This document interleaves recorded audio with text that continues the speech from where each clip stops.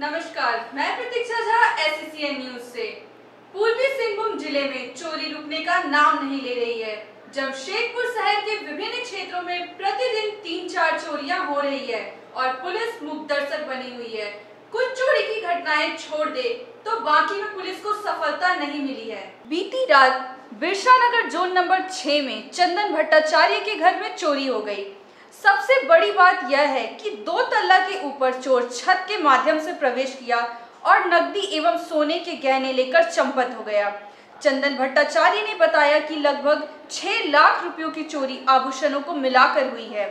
हमें ऐसा लगता है कि घर में कुछ स्प्रे भी मारा गया है, क्योंकि जहाँ मेरे पिताजी रात में दो तीन बार उठते हैं, वह उठे ही नहीं, और हम सब की नींद सात बजे के बाद खुली है। कुछ गंध जैसा भी महसूस हुआ है। हालाँकि पुलिस ने आश्वासन दिया है कि जल्द ही चोर को गिरफ़्तार कर लेंगे। लेकिन चंदन भट्टाचार्य का कहना है कि मेरे दो घर छोड़कर पिछले दो तीन दिन पहले उस घर में भी चोरी हुई थी। लगातार चोरी हो रही है, लेकिन पुलिस हाथ पर हाथ धरे बैठी हुई है। कि कुछ स्प्रे वो का शायद स्मेल भी आ रहा था, जो मेरा पिताजी दो तीन बार बाथरूम जाता है, हम भी जाता है, लेकिन कल जग ही नहीं पाया, एकदम सात बजे उठे।